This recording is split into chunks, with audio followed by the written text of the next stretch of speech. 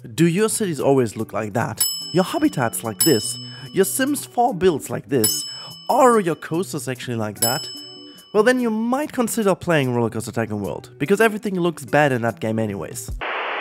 Or you can watch this video where I give you some tips how to become better in creative games. And actually, don't play Rollercoaster Tycoon World. Just don't. No, seriously.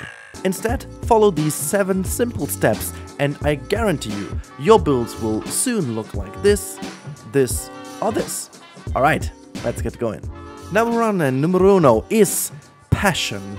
Find your passion, whether it's building fences, pathways, small houses, big houses, it doesn't matter. Try to find what you have your biggest passion about, because that is the most simple way to have the strengths to keep on going, to go deeper and deeper and educate yourself to build more. It doesn't matter what it is, just find your very specific passion, and I guarantee you it's much more simple to start over there and start learning how to be better at this very thing.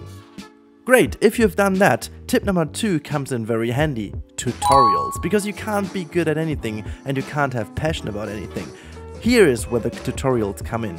Don't fear, just type it into YouTube or your desired platform and you're gonna find some brilliant tutorials of other people who already had the same struggle that you have. Now, fix your problems by following these easy tutorials you'll find online and I guarantee you, you'll be better at no time.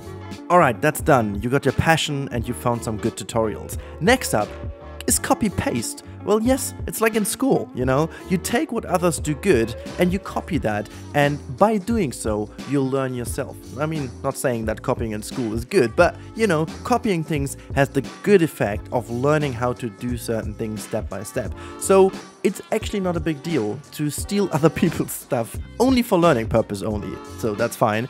And then just disassemble that, have a look how other people did their work, and go from there.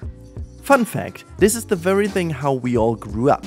As a kid, the only thing you do is copy paste what your parents do or the people you see each and every day. It's the simplest and most natural way to learn. Just keep that in mind, okay? Alright, that's done as well. So you've got your passion, you've got tutorials, and you know how other people build their stuff. Now it's time for your stuff to shine. And this is where inspiration comes in. Because nobody is good at creating stuff from a blank space. And here comes a lot of good stuff with different platforms. Use YouTube, Pinterest, Instagram, or whatever you want to find inspiration for what you want to build. You want to build a cozy little hut in the northern sphere? Well, then just go and Google for some Norwegian little cottage house houses. You can do whatever you want, but just find yourself some inspiration. It is not important how much or what quality it is of. Make sure that it is exactly what you had in your mind, because no one else can look into your mind other than you yourself. So find these images that help you to shape the visual of what you want to do, because then you've got a clear idea in your mind.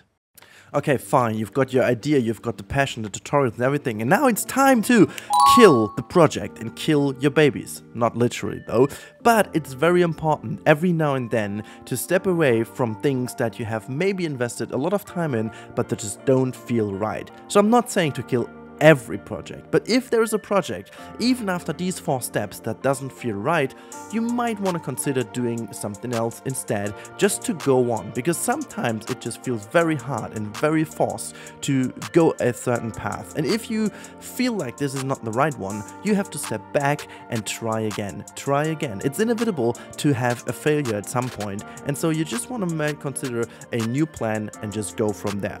That's easy, but sometimes it really hurts if you have a great idea and you feel like, unfortunately, this is not gonna be continued. So, be brave, kill your babies, and then go on.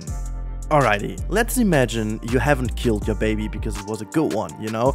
You've done all the first steps. Remember the first one, by the way? It was passion. Then you have checked some tutorials, copy-paste action, you search for inspiration, and you figured you don't need to kill the project because it's just too good. Or is it? Now this is where feedback comes in handy, and many people fear feedback because they could hear something negative. But sometimes it's very important to see other people's opinion because they give you some spotlight on certain things that you might not see because you're so invested into your own project and so you don't see things to your left and to your right. Type it down into your Discord channel, bring a screenshot to your friends, or just ask other people online what they think about what you've created. They will give you feedback and yes, there might be some negative feedback about it, but even if you get some negative feedback, make sure to keep on asking. Ask them what is exactly the problem with it, so you will better understand what they would change, because at the end of the day, you want to be proud of what you're showing and showcasing, so other people will appreciate that even more if you have uh, embraced their feedback. So make sure to search for feedback.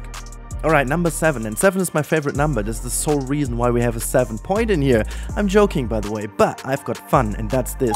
Fun is the most essential thing being creative. There is no clue in the world and no hint and no tip in the world that will make you creative instantly.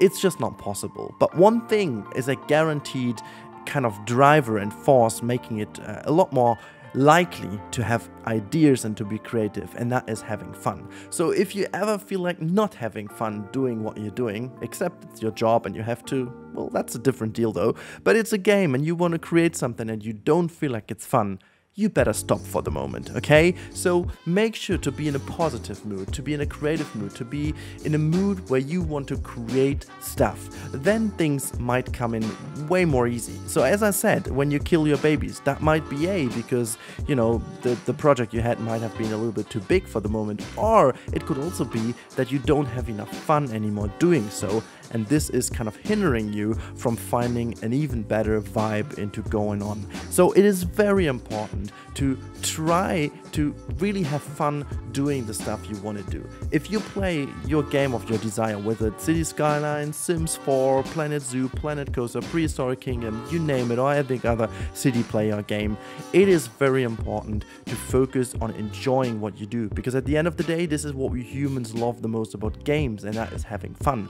That's that, and now let's make a little conclusion awesome! You can now create a lot more better and creative games. And if you like the video, you can help me create even more crazy stuff for you guys and also making videos like that for you way more often in the future. If you want to see other tips and tricks how to be more creative in various games or just in general or in specific games, check out my other how-to and tutorial videos to your top right. And if you like the video and want to help me outgrow the channel to reach even more people with the tips and tricks, make sure to subscribe to the channel if you haven't already. That would make my day a lot more better and now I wish all of you a pleasant and totally great time. Stay safe and goodbye.